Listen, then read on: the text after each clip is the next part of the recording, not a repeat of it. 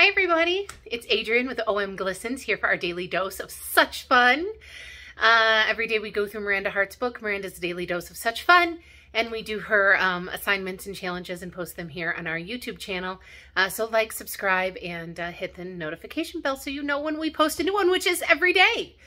Um, so today's assignment, uh, and I don't have the book in front of me, um, is to make a plan.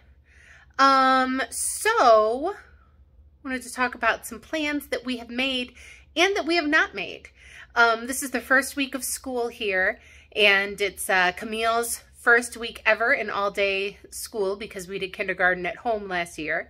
Um, and we are making no plans for this weekend, um, other than we have something planned on one uh, day that was uh, already planned in advance um, so that we can really just kind of gauge our comfort level this weekend, right? How tired are the kids going to be? How tired are we going to be? Um, are we going to have a lot of energy? Awesome. If we do, then we'll do something fun. But if we feel like chilling out and taking it easy, we may do that too. So our plan this weekend is to have no plans other than the uh, party that we are to go to on Sunday. So we're excited about that.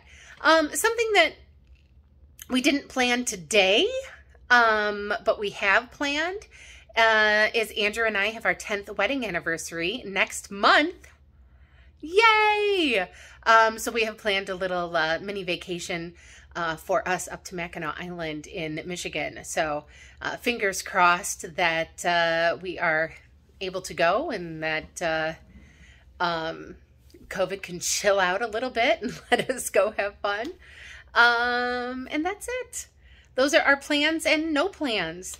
Um, but, you know, they're all such fun. Bye.